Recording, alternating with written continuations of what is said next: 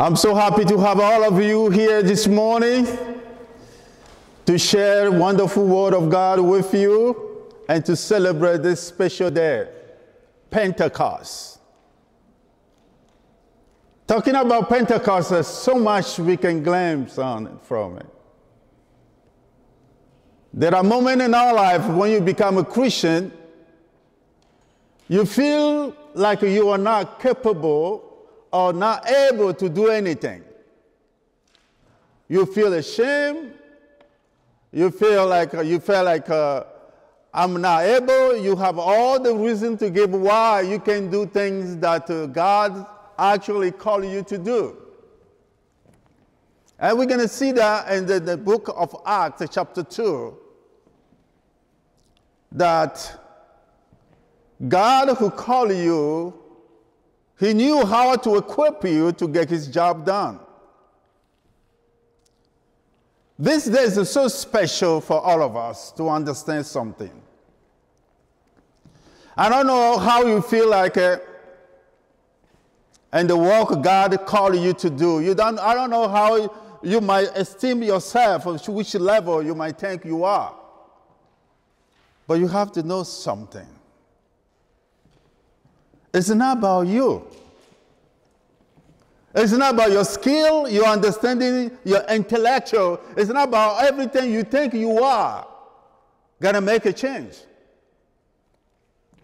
The beauty things of being Christian and, and just call ourselves a Christian because we know we are people of faith. We walk by faith, not by sight. We are people who walk in the scripture because the design already there for us, how we can, we can partake things, how we can handle things, how we can speak, how things work sometimes when we face trouble and tribulation. Pentecost as things we all need to know. The presence of Almighty in your life. Somebody who can, uh, is, who's in you, who can uh, help you to understand the call that he have in your life. Change always will happen. It happened to believers. It happened to people who open up for those change. Who want to say, God, I need to be used because you called me. I'm sure you called me, so I need to be used. So we are in a place now to let people know that it's not the time to give up. It's not the time to say, I can't do it. it history has proved to all of us that uh, we have a power to do all things. But they have a process for this and what ought to happen. We want to read a little bit from uh, Act chapter 2. We want to start from verse 22. People of Israel, listen, God publicly endorsed Jesus the Nazarene, the Nazarene by doing powerful miracles, wonders, and signs through him, as you well know. But God knew what will happen, and his prearranged plan was carried out when Jesus was betrayed with the help of lawless Gentiles. You nail him to a cross and kill him. But God released him from the horror of death and released him back to life, for death could not keep him in its grip. King David said this about him I see that the Lord is always with me. I will not be shaken, for he is right beside me. No wonder my heart is glad and my tongue shouts his praise. My body rests in hope. For you will not leave my soul among the dead and allow your Holy One to, see, to rot in the grave.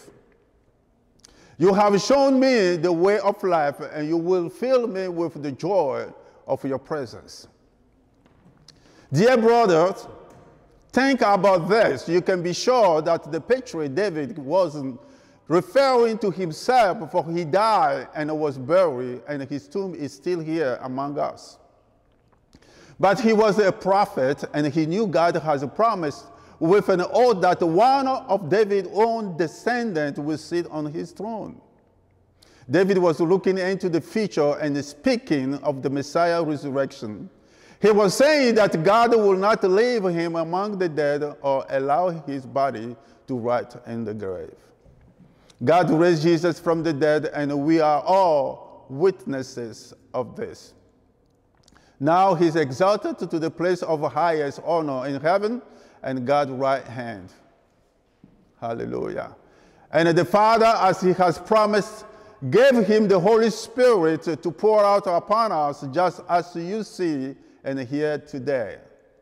For David himself never ascended into heaven, yet he said, The Lord said to my Lord, Sit in the place of honor of my right hand until I humble your enemies, making them a footstool under your feet. Hallelujah. Let's pray. Dear Heavenly Father, we thank you for your word. We thank you for your love. We thank you for opportunity you gave to all of us, the body of Christ especially, to use all the potential that we have so we can fulfill the Great Commission and do great things in this kingdom. So, mighty God, I thank you and I worship you. I give all the praise and glory. In Jesus' name. Amen. Amen. Hallelujah. God is good. All the time.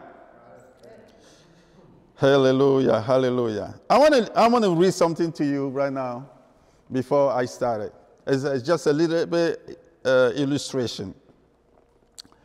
A traveling evangelist always put on the, and the and grand final at his revival meeting. Okay. When he was to preach at the church, he would secretly hire a small boy to sit in the ceiling rafter with a dove in his cage. When he was going to preach at the church, he would secretly hire a small boy to sit in the ceiling rafter with a dove in the cage. Okay. Toward the end of his sermon, the preacher will shout for the Holy Spirit to come down. And the boy in the rafter will dutifully release the dove. At one revival meeting, however, nothing happened when the preacher called for the Holy Spirit to descend. He again raised his arm and exclaimed, Come down, Holy Spirit. There's still no sign of the dove. The preacher then heard the anxious voice of the small boy call down from the rafter, Sir, a yellow cat just ate the Holy Spirit. Shall I throw down the, holy, uh, the yellow cat? Hopefully, as we make our way through this book of Acts, we can find a little healthy and a little more balanced approach to the work of the Holy Spirit now cut allows.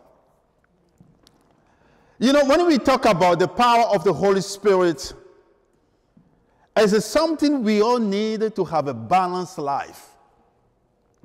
I know we are growing up to be educated, which is good uh, this is the culture. You got to be educated. You have to know things. You have to put yourself uh, in the level of the culture. You have to be able to accomplish things. But when we are talking about know God, serve Jesus Christ, and be a Christian, is another dimension of uh, living as a Christian we have to demonstrate to the world. God is calling you and me, and He always says, not telling you that you are well educated. No, he said, you are, you are my representative. You are like an ambassador. And I call you wherever you go to be the light and the salt. So we, there are so much being demanded from you and me. There are things God expects you to do. And those things have to come from the Lord Jesus Christ. That's why the Pentecost is very important because we need that kind of uh, uh, hand of God in our life in order to be truly and at work in this life that we are in. God loved the world. He loved everyone. But it's not everyone who are committed to him, to the call. It's not everyone who want to receive that love. It's not everyone who have been prepared to do it. But you and I, we have a privilege to be there. And we understand how powerful it is, how awesome it is to be a Christian. So now, what do you do with? You might be saying, oh, I'm afraid. Yes, Peter have a life who was really a guy who just want to do everything from his own standpoint. Because he guy who speak he, he jump on the things he want to fix it he, he just throw himself on everything. God is a person who love the world so much and he prepared all of us. He told to his disciples to wait. Because he trained them, they knew that they can do things, but there are moments we are called to wait for the power from on high. So, the point, the first point we, we want to talk about this morning is about the servant was empowered the servant was empowered. You know, Peter, like I'm saying, he's a, a guy who's self confidence, depending more on himself than on the, the Lord. You can see his action. He, he was the chosen person, the vessel to preach the Pentecost sermon. You know, you might be thinking that no, I'm a kind of guy, I couldn't do this kind of things because I know myself. It happened to everybody. It's in the Bible. Everybody have experienced that. God's message needed to be properly equipped. God knows that when you speak under His authority, under His word, it's always change is going to take place. He uses you when you yield to Him. He can use everything within yourself when you yield yourself to um, the empowerment and the power of God. God want to use everybody. Have you have desire to be used? That's the point. The man God uses is the man God makes. You can make yourself the way you want to. But if you want to be used, it have to come from the Lord. It have to come from God. At the Lord's Supper, Jesus predicted Peter denied. He said to Peter, Tonight, all of you will desert me. And Peter declared, Even if everyone else deserts you, I will never deserts you. I mean, he is just as a guy who, from his standpoint, he thinks that he can do it. It's not that he's playing game. He just tell from human being, human reaction, you know. They say, Jesus, I've been with you, but I won't, I won't deserve you. And Jesus says, I tell you, Jesus replied, I tell you the truth, Peter. This very night, before the rooster crows, you will deny three times that you even know me. Eh, just wait, wait the conversation that is going on here. Peter was not the enemy of God. It's not that he said, I don't like this guy. He's following God. He's actually Christian, he's a disciple, he's doing whatever he can, but you can evaluate exactly what he's going to hear. Peter, is in a position where he doesn't even know that he get himself and the place where he can deny Jesus Christ. Sometimes we need help in our walk with the Lord. Peter insists, even if I have to die with you, I will never deny you. But those is the way we, we act every single day. We are in the same boat with Peter. But Peter had to experience a change. He had to experience something that we all need to experience. this. The empowerment, the power of God.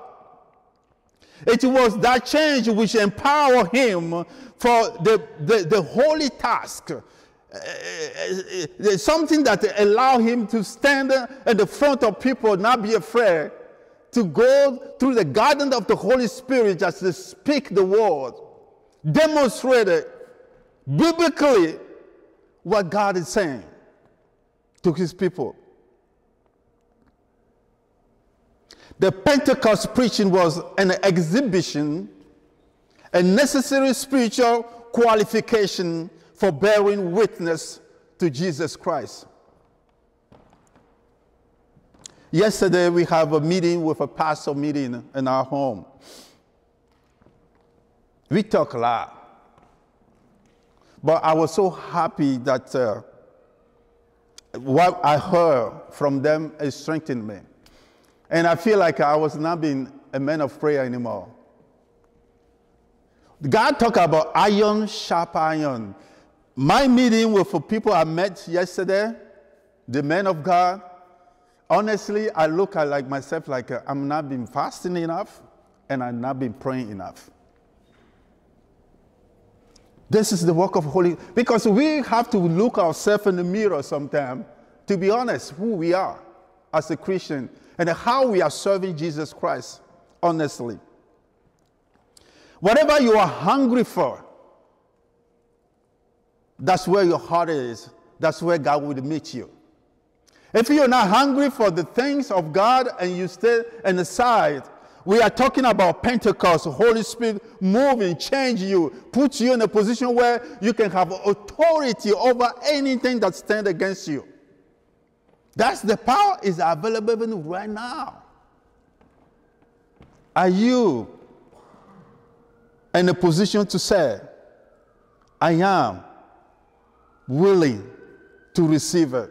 Because the purpose of the Holy Spirit is to equip the church. Is to equip believers. Every one of us need the power of the Holy Spirit. God help us so we can do his work. Help us so we can go further. When everybody stop we say with, with God, we can go further to do great things for the kingdom of God. Jesus, God Himself, He promised. He said, You will receive power when the Holy Spirit come upon you. This is the promise of God. Mount of the Lord believers, God is saying, you will receive power when his spirit come upon you. Luke 24 saying this, said this. Stay here in the city until the Holy Spirit come and fill you with power from heaven. I want to use this uh, Luke scripture just to make a point here. God always promised Holy Spirit to you and me. But it's not anything, if I explain how you are, if you hunger for something, you, hung, you want God to use you for something, it's not just quick things. God have to see your heart if you really mean what you said. But scripture is saying that uh, stay here in the city. You know, it's a matter of waiting upon the Lord. when we talk about waiting, we can say a lot of things. We have to wait. If you are hungry for something, you wait. How you wait? You don't just wait, not do anything. You wait by reading the scripture. You wait by praying. You wait by fasting. You wait by knocking the door. You wait by asking God to move in our life. And you wait. God said, wait so you will receive it. That's why when you go to church or you pray one time, you ask for something, you don't receive it, you don't give up. Because there are periods of waiting. They have waiting moment for all of us in order to receive what you are looking for. If it's easy, everybody will have it earlier. You have not got it right now because you have not spent time of waiting for the Holy Spirit to come upon you. But we, we, have to, we have to understand that this is a critical. Waiting is very important for you to get in the power of the Holy Spirit in your life. Effective ministry, effective walk in the kingdom of God, effective influence in this life we are living, you need the power of the Holy Spirit. So, waiting is very important. You know, some people who don't want to wait, we can be doing ministry, we call that mechanical person. He just keep doing it. Yeah, we do the ministry. Hey, you are doing it. But we, what we want to do is uh, we want to be practical. But when you are practical, you are under the power of the Holy Spirit. So you see mechanical work and practical work. And my prayer is God to help us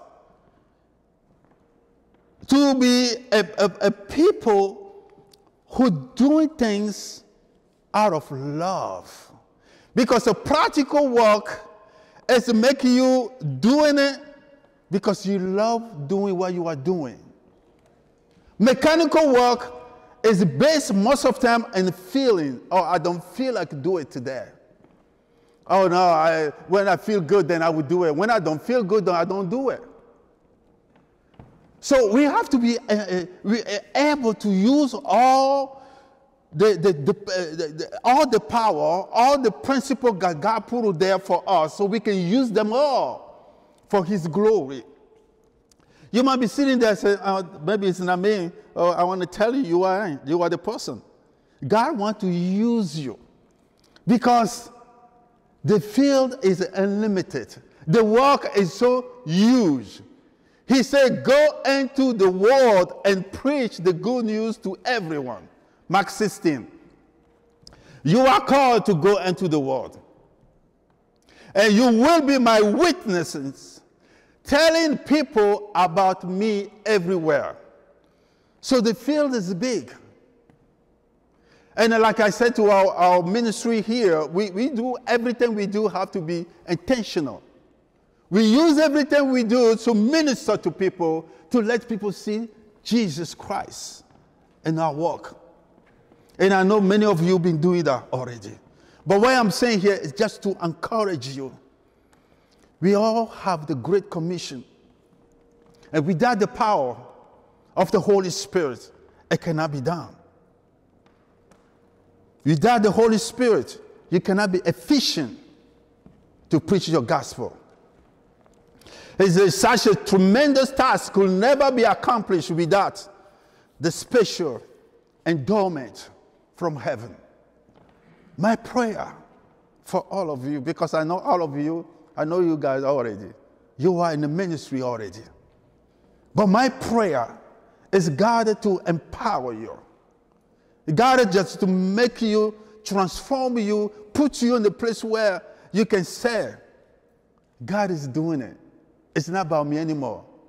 Your practical sense of doing work, it can be really secure, bring joy to you because God is involved in it. The scripture was expounded. This is the second point. The Pentecostal sermon was authoritative because it was scriptural correct. God's word is not man's word. When it come out of you and the way that you are declaring the power of God through the scripture, it always take place. And we challenge somebody and someone who listens to the word of God that carry the spirit of God, and we challenge that person. Peter addressed people who's trying to tell, oh, you guys, it seem like you're drunk, eh, all these things. So he addressing people. He's and uh, with a, with a, he started with a prophetic scripture right here from Act 2, 16 and to, uh, to 17. He said, no, what you see was predicted long ago by the prophet Joel. In the last day, God says, I will pour out my spirit upon all flesh, upon all people. Your daughter, your son and daughter will prophesy. Your young men will see vision, and your old men will dream dream. You see, in Pentecost, 50 days after the death and the resurrection of Jesus, the Holy Spirit is in the world today. God's presence is here. Sometimes you have to discover for yourself, then it makes sense. Nobody can do for you. Because when you are Christian, you are Christian for yourself first. Because you have come to, to give to the Lord Jesus Christ. The day will come you won't stay with your husband, your family member, or somebody. You're going to stay by, by yourself in the front of Jesus Christ. And you're going to give account. That Christianity is, after all, you first. Can you say me first? Can you say that again? Me first. You, you, you, you have to be first.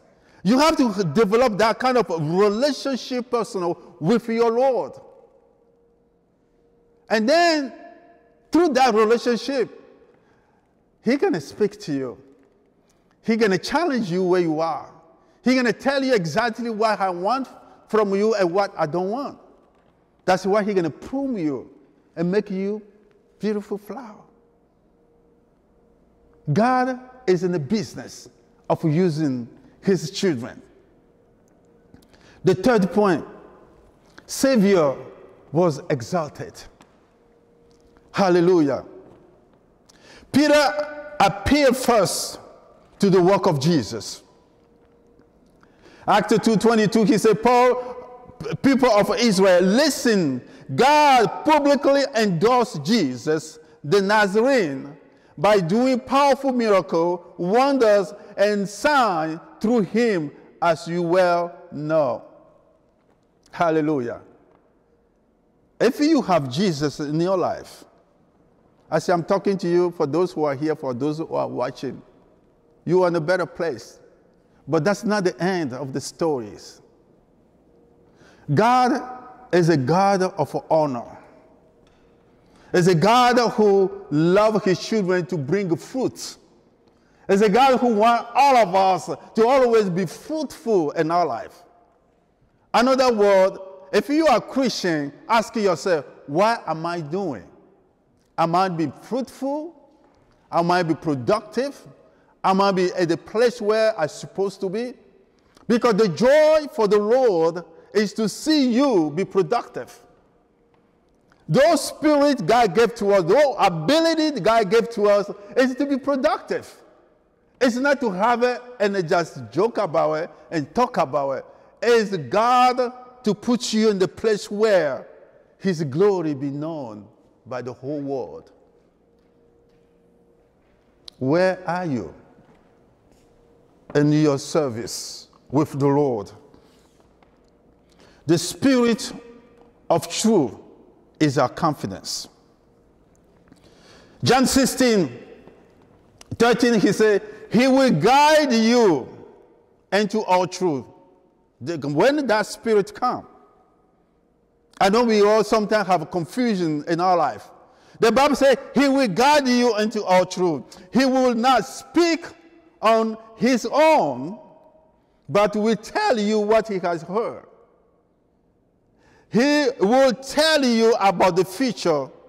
He will bring you and me glory by telling you whatever he received from me. This is Jesus speaking. What he's saying to you and me is when we have a Holy Spirit in us, when you don't understand anything that you are going through, if you have a problem in your life, the first person to talk to is God through His Spirit that is inside you. Talk to Him so clearly. Those kind of talk we call prayer. Just be on your knees and I talk normal person talk and uh, react for normal person can react and ask God. Sometimes you can cry if you have to cry. Because uh, at that moment it's just you and God, nobody else. You have to know him personally. So Holy Spirit is doing all this. So he come, he gave his life. The Bible demonstrates how he paid for sin. He did all this just for we can be fruitful. Hallelujah. God was offering the sacrifice for sin. It pleased the Lord to bruise him. He had put him to grief because you and, and I, for our sin. The Father made Christ so an offering for sin. We are saved by the volunteer, vicarious death of the eternal Son of God, who knew that he was coming to die in our place.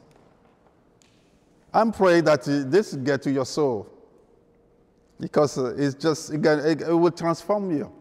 You get it, it will transform you. Because it's not the word of man, it's the word of God. The word of God is always transform you. It, it bring conviction, it bring things that will, will get you to the place where you start talking to Almighty God. In your closet, in your room, and wherever you are. Because you want that. And you want God to do amazing work in our life. The apostle insists upon the necessity of Christ's resurrection from death and the grave Hmm. No doubt, Peter's argument for the resurrection was overwhelming because Peter, he preached one of the, the, the sermon that's get people attention. It's not because he's, a, he, he's so skillful and uh, intelligent, but because they are power of the preaching of the gospel. He went to quote David from the Psalm. For you will not leave my soul uh, among the dead and allow your Holy Spirit to write in the grave. Hallelujah. You know that, but David could not have spoken of his own self, for it was now evident that David has died and has been buried, and he said, he said his sealed tomb was at hand. So another word, David, for the prophecy, exalting God. A, so all these things we are saying is being, is, is being spoken by the prophets in the Old Testament. The realization of this is a pre-arrangement that has happened right now, and you and I, we are celebrating. Just to tell you how deep uh, and wide the love of God is for our life. The love he's been demonstrating for so long and is working today. And you and I, even when the Old Testament is, is testifying, these things of Pentecost happen today because it has been proclaimed before. Peter was preaching Christ throughout his sermon. And the central fact to which the most space is given is his resurrection. He died, he rose, his ascension, and he sent the Holy Spirit. Powerful things. The fourth point is life was transformed. What we are talking about is the transformation of life. Your life my life will be transformed because the power of the Holy Spirit. First of all, we need to be convicted. Verse 37, Act 2. Peter word, the Bible says, pierce their hearts. And the only things come up from their mouth is, brothers, what should we do? That is the power of conviction. The congregation may possess intellect and intelligence above normal, and yet the indifference of the sin and their wrong relationship to God. This is why I'm saying I'm, I'm telling you guys earlier. Get educated is a good thing. Have God working through you is another thing. We all need God in our life. That's the only way we can do impossible things in this life. The preaching with conviction is the need of the hours. Before you and I preach conviction, sermon of conviction, we have to be in the place where we are really have that power to deliver that kind of message. Because that message is going to transform somebody's life. That message can change somebody. The conviction always comes from God, Holy Spirit. Whatever real conviction result is the work of the Holy Spirit. When our Lord promised the Holy Spirit, He said, when He is come, He will reprove, another word, convict the world of sin. The work of the Holy Spirit. He will reprove the work of sin. And He's asking all of us to be able to receive this Spirit. He's so kind. He's so loving. He, he's not going to condemn you. He's just going to convict you so you can make everything right. Because we don't have so much time in this life. Apostle Paul gave also uh, the witness of the glorious truth with, uh, with uh, his church. My speech and my preaching were not with enticing word of man wisdom, but in demonstration of the Spirit and of power. You know, it's great. I, I love all the training things, but we need God, man. I'm telling you, we need the Holy Spirit. you need the Holy Spirit to make a real difference in people's life. You know, we need the Holy Spirit when we preach. We need the Holy Spirit everywhere in the house. We need the Holy Spirit uh, just to talk talk nicely, respect people, but his power will bring people to conviction. That's where the change start happening. When the conviction, a conviction happens, what's the next? Conversion. People be transformed for it. Well, I have an illustration I'm going to read to you here too. A robber comes into the bank and tells the teller to give him all the money. As he pulled out his gun to show the teller, the teller responds, But I don't believe in guns. I've never seen a gun hurt anybody, and I don't believe that you can hurt me. What will happen if the robber decided to show the teller that his gun actually works? Will the teller disbelieve keep him from hurt when the robber pulls the trigger? The Bible is the sword of the Spirit. And it is going to work in people's hearts, whether or not they believe in, just use the word. I just want to make a little bit difference there for you to see. The Word of God is God Himself. It's the word that penetrates the heart and change, challenge, and put you in a position where you will say, Oh God, I need you and I need your help. So the conviction happened by the Holy Spirit through the disciple. When the disciple brought from the place where they feel like uh, they can do it in their own strength, then the Holy Spirit take over. Brother, what shall we do? This is the question. When those questions happen, this is, you know, it's opportunity to lead somebody to Jesus. I don't know about you, this kind of a question is coming different way. Some people come to you, they don't say, what shall I do? But they ask you a question like, uh, how can I read the Bible? In other words, they, they have a desire to have something transforming their life. When somebody say, I want to start reading the Bible because he had assessed his own life and he feel like uh, he have to start taking step.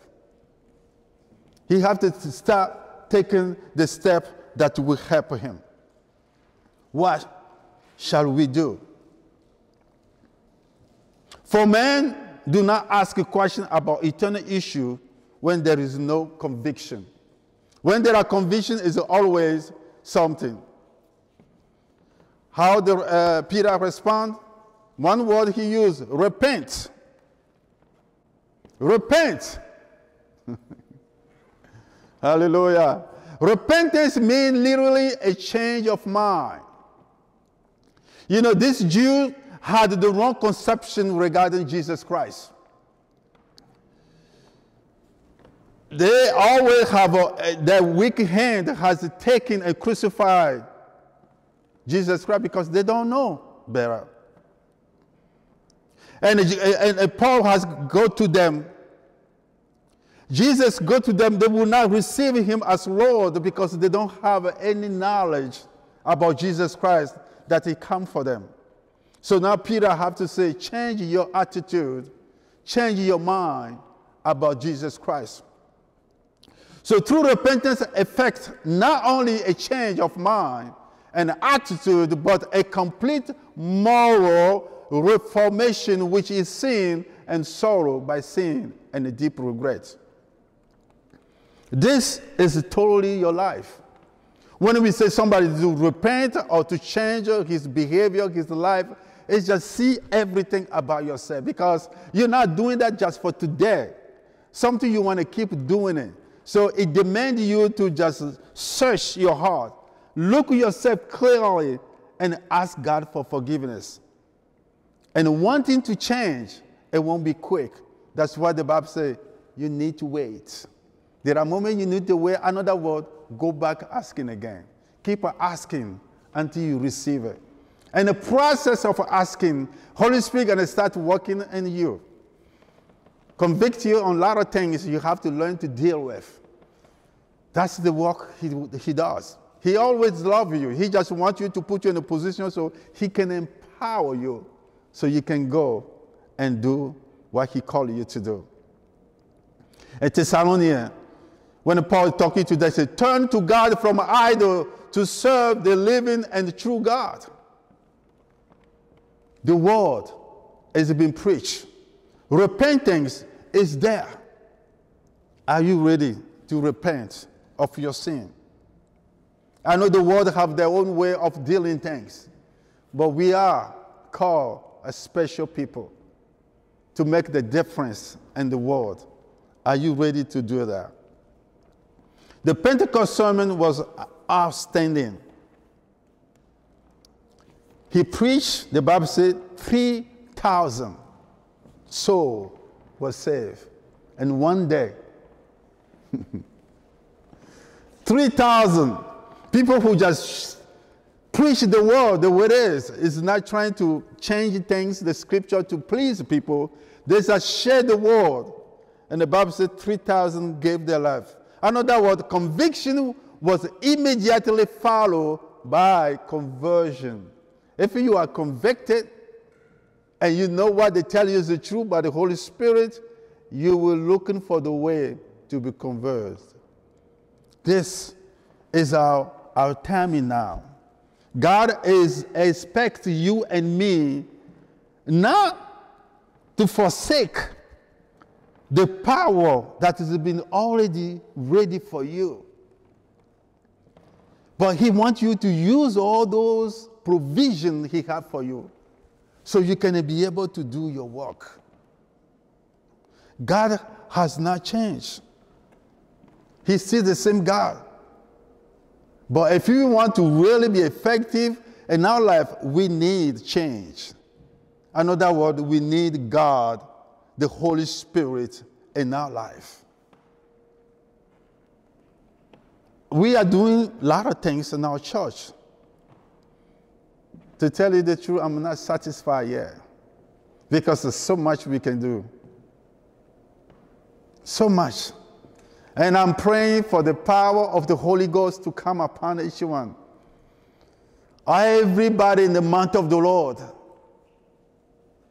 to receive the anointing, the Pentecost anointing of the Lord for His glory, because that anointing is for mission, for the purpose of reach out to other people. To tell people with love how they need to know Jesus Christ to let people know that uh, they can do it. We can do it together. People are dying every single day.